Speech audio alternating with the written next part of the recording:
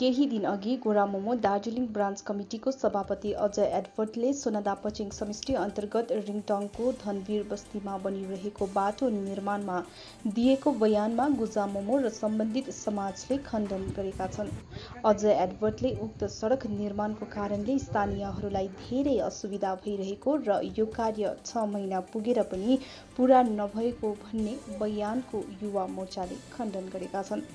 युवा मोर्चा सुनदा पचिङ समष्टिको सचिव सलिम लोहारले पत्रकारहरूसित कुराकानी गर्दै अजय एडवर्डको बयानको खण्डन गरेका छन्।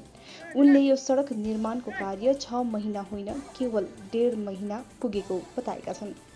म सलिम लोहार गोर्खा जनमुक्ति युवा मोर्चा सुनदा पचिङ समष्टि सचिव अनि हामी समक्ष हुनुहुन्छ समष्टि सभापति रवि राईज्यू।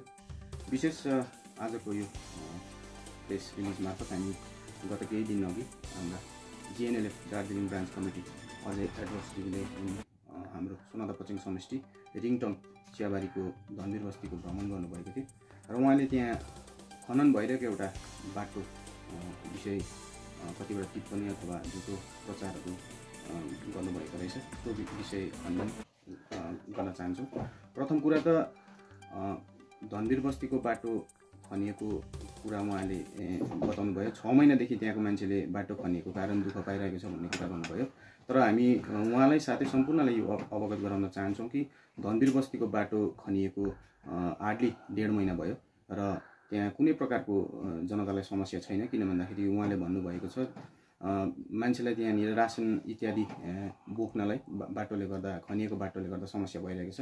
तर त्यो कुरा सरासरै गलत हो किन भन्दाखेरि त्यहाँनिर वैकल्पिक मार्ग पहिलोबाट नै छ। र जुन अहिले खनिएको बाटो छ त्यो बाटोमा पहिला चियाबारी थियो। अहिले खनिएर त्यो बाटो एउटा गाडी गुड्ने बनिने सम्भावना भएको छ। र त्यो बाटो बाट कसैलाई अहिले समस्या भएको छैन। जनताले रासिन पानी आराम आरामले पाइरहेका छन्। अनि अर्को कुरा जुन यो बाटोको टेन्डर विषय उहाँले tender amount eighty seven lakh कुरा गर्नुभएको छ। यो कुरा चाहिँ उहाँलाई हामी बताउन चाहन्छौँ कि कुनै पनि कुन चाहिँ विभागबाट चाहिँ यो एट्टी सेभेन लाखको टेन्डर पास भएको छ यो कुरा चाहिँ तपाईँले प्रमाणित गरेको हुनुपर्छ किन भन्दाखेरि यो बाटोको कुनै पनि अहिले त्यस्तो पहल भएको छैन।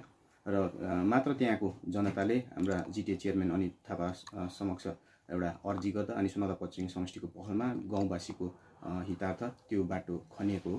र अहिले नै कुनै प्रकारको त्यो विभागीय पहल भएको छैन। तर उहाँलाई बताउन चाहन्छु सुनादा पश्चिम समष्टि आफै दक्ष छ र यो कार्य निर्माण हुने कार्य चाँडै नै सम्पन्न हुनेछ। र उहाँलाई यो पनि अवगत गराउन चाहन्छौँ कि सुनादा पश्चिम समष्टिले हरेक गाउँ बस्तीमा कालो सडक निर्माण होस् भनेर काम गरिरहेको छ र त्यसको निम्ति कतै पनि भोट माग्ने काम हाल गरेको छैन र किन भन्दा इलेक्सन अहिले टाढै छ र यस्तो लान्छनाहरू चाहिँ भविष्यमा नलगाइदिने हामी उहाँलाई विनम्र निवेदन गर्दछौँ। अनि अर्को कुरा उहाँ एकदमै दार्जिलिङ हाम्रो क्षेत्रको माननीय व्यक्ति हुनुहुन्छ स्तरीय व्यक्ति हुनुहुन्छ। अनि अहिले एकदमै राम्रो नेतृत्व गरेर काम गर्नुहुँदैछ त्यसको निम्ति हामी उहाँलाई बताइदिन चाहन्छौँ।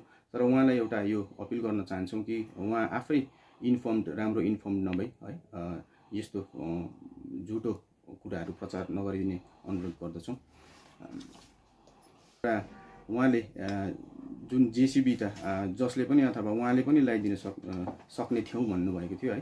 तर यो कुरा बताउन चाहन्छौँ कि धनवीर बस्ती यो हाल दुई हजार बिससम्म पनि उहाँहरूकै पार्टी मेजोरिटी भएको ठाउँ हो। र यतिका वर्षसम्म दुई दुईभन्दा तिन दशकसम्म उहाँहरूको पार्टी सत्तामा हुँदा अथवा गए वर्षसम्म उहाँहरूले चाहिँ किन चाहिँ यो खनन कार्य चाहिँ गरिदिनु भएन? अनि अहिले सोनादा पश्चिम समष्टिले धेरै प्रयास गरिसक गरिसकेर यो खनन कार्य गर्दाखेरि चाहिँ उहाँलाई किन आपत्ति भयो भन्ने चाहिँ हामी प्रश्न गर्न चाहन्छौँ। र अन्तमा हामी युवा मोर्चा सोनादा पश्चिम समष्टिकोबाट उहाँ एक माननीय व्यक्ति भएको हुनाले आफू वेल इन्फर्म भएर यस्तो खालके टिप्पणीहरू गरिदिने अथवा भविष्यमा सोनादा पश्चिम समष्टि अथवा यहाँको नेतृत्वहरूको छवि धमिलाई हुने काम चाहिँ नगरिदिने हामी निवेदन गर्दछौँ। धन्यवाद।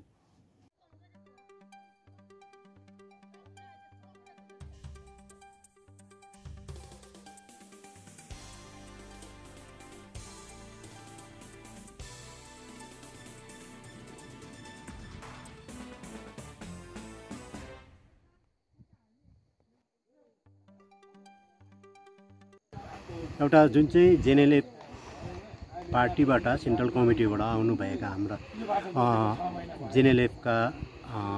सेन्ट्रल कमिटीका प्रेसिडेन्टले